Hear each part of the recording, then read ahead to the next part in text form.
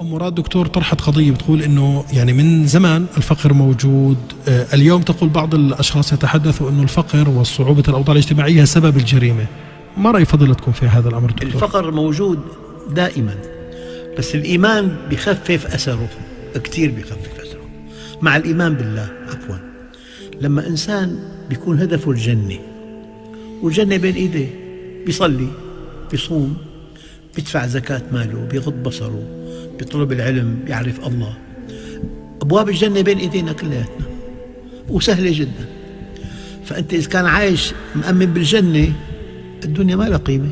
فيهون الفقر. طبعا هل عفوا في نقطة بس دقيقة حقولها فلينظر ناظر بعقله. فلينظر ناظر بعقله. أن الله أن الله أكرم محمدا أكرم محمدا. أم أهانه أم أهانه. حين زوى عنه الدنيا؟ حين زوى عنه. قديش مساحة بيته؟ 450 كم مركبة في عنده؟ اللهم صل عليه. كم قصر؟ ما عنده شيء.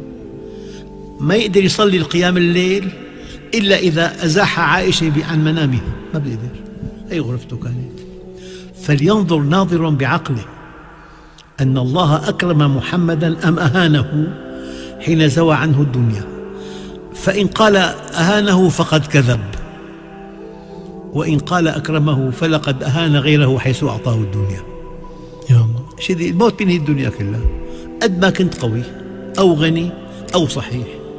الموت أنهى كل شيء. الموت أنهى كل شيء في إنسان عايش للآخرة للأبد عايشه إذا الفقر ليس سببا للجريمة وإنما الفقر وقلة الإيمان يؤدي إلى يرتبط، الجريمة. نعم. الله يجزيك خير. دكتور نستأذنكم إلى والله في الفاصل. والله في فقراء بتشتهي الفقر من, من أدبهم مع الله. سبحان الله. والله بتشتهي الفقر منه وفي أغنياء بتشتهي الغنى منه.